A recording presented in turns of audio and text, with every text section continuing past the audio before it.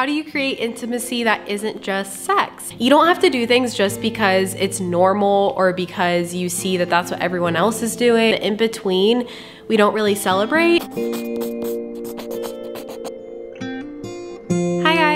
And welcome back to my channel. I have a fun video today that I personally love watching. These are some of my favorite videos, especially when I was about to get married. I wanted to do one of these wife talk videos where I just answer a lot of different questions about being married, what it's like, kind of more TMI questions. I watched a lot of these videos from Melena Cicciati, Sarah Therese, I'm trying to think who else. My friend Mikkel did a few of these videos too. They're just some of my favorites and I obviously don't know everything. I've only been married for a bit over a year now, so not very long. I kind of like doing these to look back on because obviously things change over the years and you learn and grow a lot. And so in this stage of life that I'm in right now, I just kind of wanted to answer some questions that you guys gave. I just asked for some on Instagram. My Instagram is just at Michelle Reed if you want to follow me there. I've been posting quite a bit on Instagram, especially on my stories, but I just asked for some questions on there from you guys and you guys asked a lot. I just wanted this to be a really casual video. So I got my iced coffee here and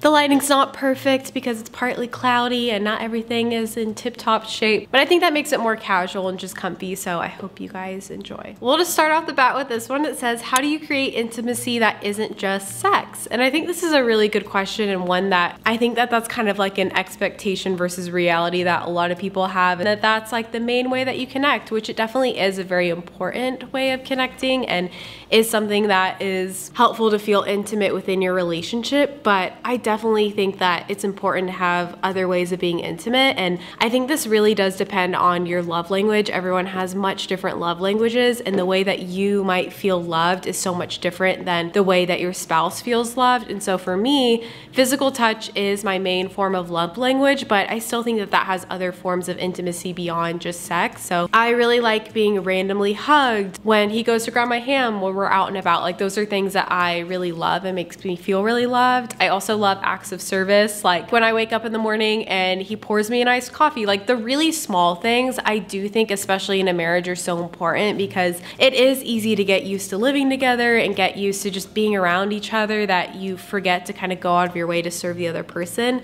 you know, in both ways, not just one spouse doing it for the other. I think doing new things together, that's always been something that we really loved in dating was just like experiencing new things and going out of our way to form new hobbies together. And I think that's one form of intimacy that's so fun. It can be a really good bonding experience for the two of you guys. So I think just finding new things and never just getting tired of the same old, same old. This one's funny. It says, how do you figure out your bathroom schedules in a one bedroom apartment? So I was actually watching my friend friends, Chad and Tori Masters, who you guys probably know on YouTube. They do a lot of like Christian-based content. They're super sweet, but they were talking about how like one person will go use the bathroom upstairs and one person will use it downstairs. I know a lot of people use the bathroom with the door open within their relationship, like they don't really care. I feel like for us, it's not that big of a deal. I think it depends on the situation that's happening, if you catch my drift. Sorry, I think my voice just cracked. But it's definitely not something where we have like a schedule. I mean, we like we'll use the bathroom at the same time if one of us is showering or something. I think that's kind of like the beauty of living with someone. You do get to share everything and yeah, it just depends on you. If that's something that's really important for you, if you want to keep certain aspects of that private, then I think you can discuss that and figure that out. But yeah, it really isn't that big of a deal within a one bedroom apartment. Yeah, I don't know. I just don't get that embarrassed. And I think part of that is because I grew up with brothers. So I'm just used to like that kind of thing. And I don't know, I'm a very like comfortable person. I get comfortable around people pretty easily, which I think people might not assume. But yeah, I think if that's something that is important for you to keep separate and you wanna have your alone time in that area, you can schedule that. What are some things you do to keep your marriage a priority while also having busy schedules? I think this is a great one, especially because going into September, I just think schedules get really crazy and Thankfully, we're in a situation where I have a very flexible job where I am not working like these crazy hours. Similarly with him, while he works a nine to five, he is not working like 80 hours a week. We're not in grad school or anything, so that's not happening. And so I think going back to the first one, scheduling dates is so important and it can seem stupid when you're living together and you think, oh my gosh, I'm spending all this time together. But a lot of times sitting on the couch, scrolling on your phone is not quality time. And you realize that that's not actually making you feel closer to your spouse. And so scheduling that time where you're off your phone, you're just enjoying one another's company and remembering to ask each other questions. I think it's easy to get caught in this mindset where you assume that you know everything about them because obviously you're married to them, you've been living together, but there are still so many new things to learn. I think that's something that I'm remembering is just always to be curious. And that's a way that I want to be with life in general, just always curious, having kind of like that childlike faith about life and just wanting to go out there and learn more. And I think within your relationship, that's something that's really special to do. I talk about this all the time, but we have this journal, it's the marriage journal, and we still do it weekly. We've done it for a year and it has little check-ins that you can do. You can ask each other questions. And I think that that's such a helpful resource to use if you're trying to get to know your spouse better or also just be more intimate and prioritize each other even when things are really crazy easy and so I'll have that link down below. I think that's a great gift if you know of someone getting married or if you're just wanting to kind of start that aspect of your relationship. You can start it whenever. Like you can start it if you're two years into marriage, three years, five years. I just think it's a great resource and it's one that I think helps us a lot. Do you find it harder to maintain friendships with non-married friends either from before or after? So I would say no. I think I've always been the person, and you guys know this, that has like a few close friends rather than a large friend group. And so I feel like, I mean, maybe my friends think differently, but I think for the most part, I do try to prioritize those friendships a lot. Yeah, I would say yes. I think it has been important though within our relationship to also find couple friends. It's really fun to hang out with people who are in a similar life stage who you feel like you can relate on with a lot of things. And so we're really blessed. We've met just recently, I think, a lot of really great couple friends. So I'd highly recommend if you're in a marriage, it's just really comforting and it's good where you can encourage each other within your marriage and know that you guys are relating on things and it's just fun hanging out with other couples. Like it's fun within your marriage to switch things up. This one's funny, but it says having any more baby fever recently. So it's funny because either being around other babies makes me want to have kids or it does the opposite. Like seeing just how, you know, much of a responsibility it is makes me realize, oh wait, maybe I'm not ready for that. But no, I definitely think within the next few years, I think we'll both definitely be ready for kids by then. But right now, I think that it's just not in the works for the next bit, especially financially. We just don't know with our like home situation, if we want to have a house. I know I've been dragging you guys along with this house thing saying I want to have a house house, but then I don't want to have a house. It's just been really crazy and I just think there's a lot going on. But then again, I think there's never like a perfect time to have kids. I don't know, I wouldn't say any more or less than it has been. I know I made that video talking about baby fever, but I like being an aunt because I get to hold all the babies and see them, but not necessarily have all the responsibilities of it yet. I also just think it's nice right now getting to really enjoy one another. I mean, especially because we waited to live together and I still think that that aspect of our relationship relationship is still so new and still so fun and exciting. like the lighting just got really crazy all of a sudden. So yeah, I think we're just taking our time. I think there is a lot of pressure like right when you get married to just feel like you have to have kids right now or you have to by this certain age. But I think in your 20s, everyone is just at such a different life stage. And I think kids are just such a joy to have in your life. And so I just want to make sure it's the right time for us. But then again, you never really know when it's the exact right time. So. This one's also funny. It says, was it hard to transition from never having sex to married with lots of it. I like how she just said lots of it. Oh my gosh, again with the lighting. I would say no. I don't think it was like a weird thing. And I know this was another question about when people wait till marriage and then they're married and they experience just a lot of difficulty within that aspect of their relationship. And I definitely think that that can happen for some people. But I think that's why it's important just to communicate about it. I think this is something within our relationship that I've always been really adamant about is just always talking through things, talking through things when they're uncomfortable, when you seem like you might be crazy for thinking the things that you're thinking. And I think especially within the intimacy aspect of your relationship, talking through that stuff is so valuable and important and healthy to do within your marriage because you want to enjoy that. While I don't think that we should idolize it and make it like on this pedestal where it's just the end all be all because it's not, you know, it is a good thing and you do want to enjoy it. I think talking about it is so important if that's something that you deal with. I guess I never never grew up seeing that as like a bad thing. It was a personal decision for me wanting to wait. And I think that's why I have that relationship with it. I actually talked about this in a recent podcast episode, a lot about like purity culture and that kind of thing. If that's something you want to listen to, if you want to hear more about it, I'll have it down below. This one says tips on dealing with a cold mother-in-law who believes that nobody deserves her son. Oh, that's so hard. Again, I think talking about it with your spouse is so important. Talking about it, I think there's this phrase that says blood confronts blood.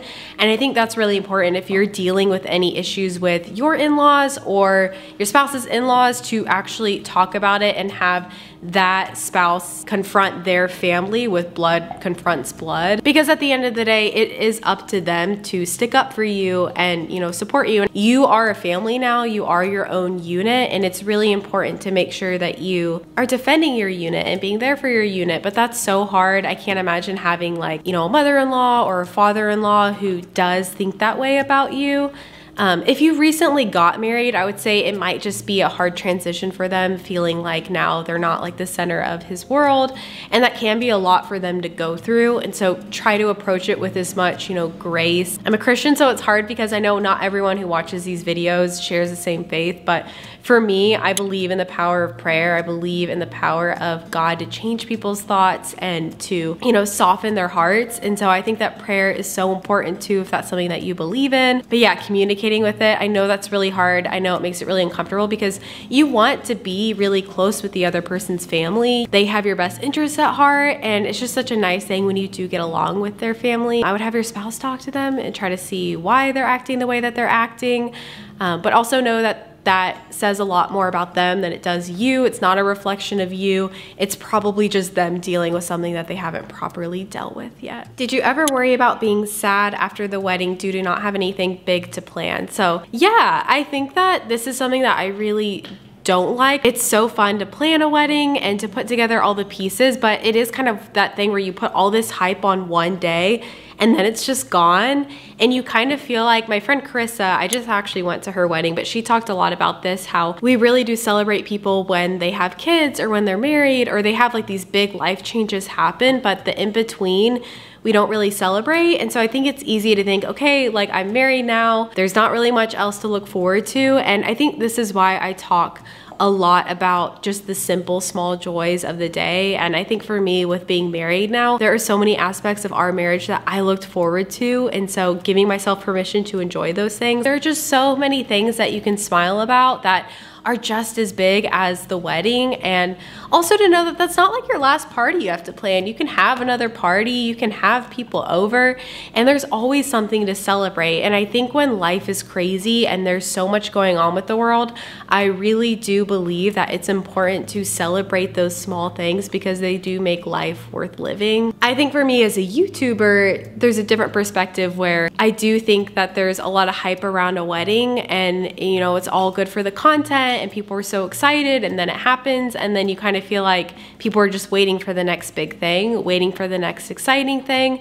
And that's why I'm so thankful for the people who stick along for the in-between when there's not, you know, something that may be considered super exciting, which is great to celebrate. Like I just want to say it's great that we're celebrating that. It's nice to celebrate people for their in-between wins too that are just small wins. I don't know if that made sense, but I've been thinking about this a lot because I've been following my friend Carissa and she's always talking about it. This one says the biblical notion that a wife serves a husband, outdated to you, or your thoughts. So I think this is interesting because I think I got a lot of things about this. Like, what do you think about, you know, this idea of serving your husband? I think it's funny because for me, I think of it very much as serving one another. And when I read the Bible, like that is what I think about is serving one another. I mean, my dad did our ceremony and he talked a lot about the principle of mutual submission. Marriage is about mutual submission.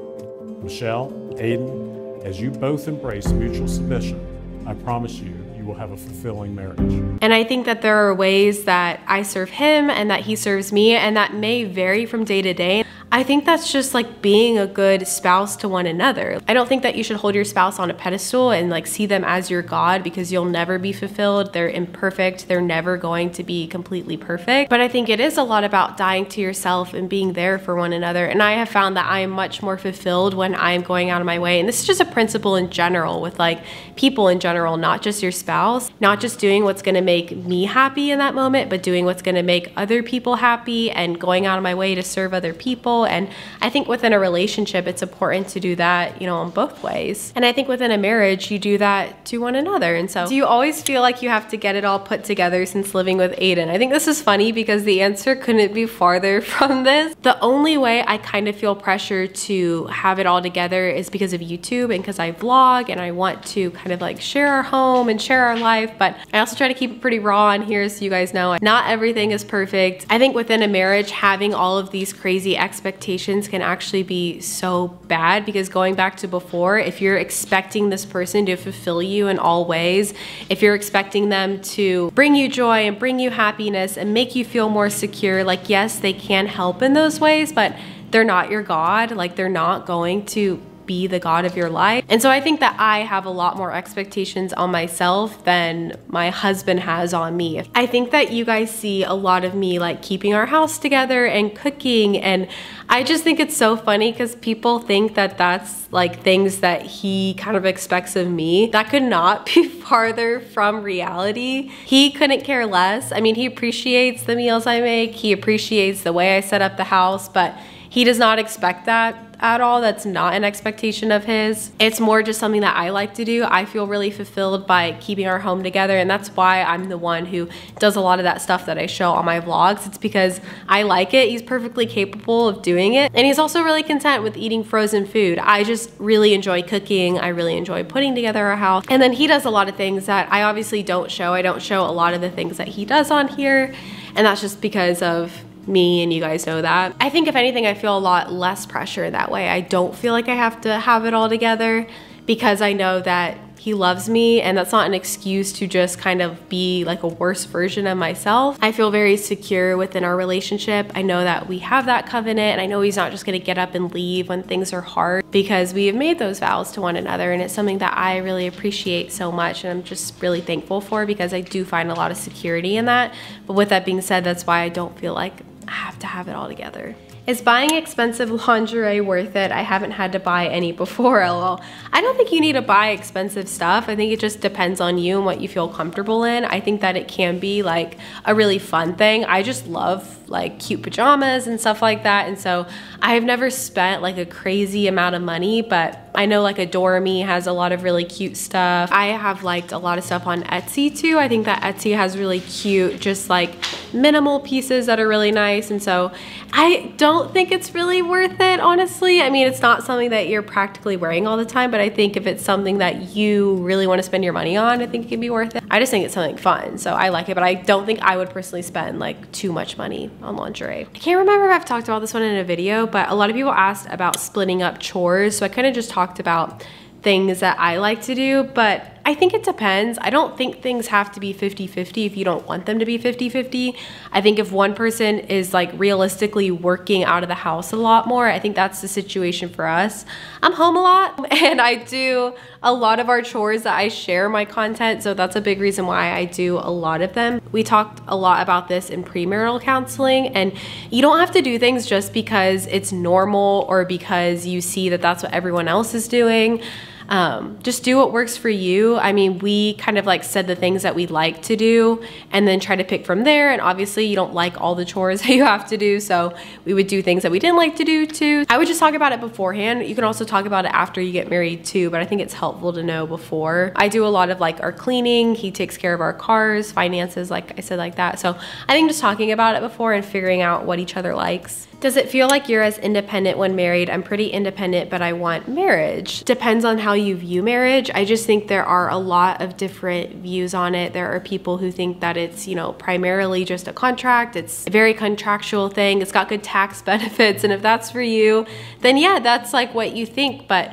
I think for us, and like as a Christian, I think that our view of marriage is just a lot different. I believe our marriage is a mirror of, you know, the relationship that I have with Christ. And I really do believe that it's, you know, God me and my husband, and that's how I view it. And so I think it just depends. I think that having a healthy dependence on another person in marriage is a good thing. And I think that it's brought me a lot of joy living that way. And with that being said, I've also talked a lot about being a really independent person. And I think it's good to have hobbies that you just enjoy. I think it's good to have things that you like, you know, on your own and not finding your identity in someone else. I think that's really important. Like my YouTube channel is primarily focused on me because I see this as a job for one, but also a hobby. It's something that I really enjoy. I really enjoy creating content on here and it's kind of my outlet that I do throughout the day. I think spiritually finding my identity in Christ and not just finding it all in myself and my marriage like that's something that's so good. So I think it just depends on how you look at it. I think that you don't have to be this person who's like fully codependent in an unhealthy way.